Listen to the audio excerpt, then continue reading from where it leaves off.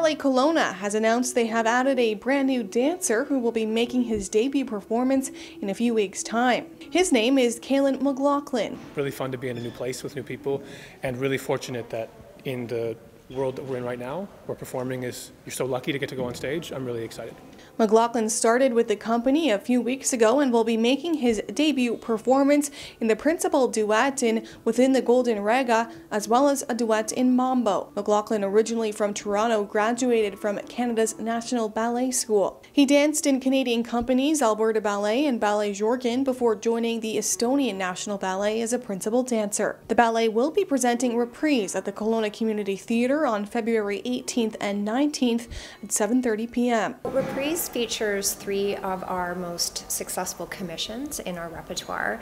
Um, it's a program of many different um, genres of dance. McLaughlin says he is grateful to be working in British Columbia. Getting to live and work in the mountains is always a gift, and so I was really excited at the opportunity to come out and see the Rockies every day as part of my commute. Um, but it's really exciting to be here, and Kelowna is a nice city. Tickets and more information can be found at balletkelowna.ca. For Castanet News, I'm Madison Earhart in Kelowna.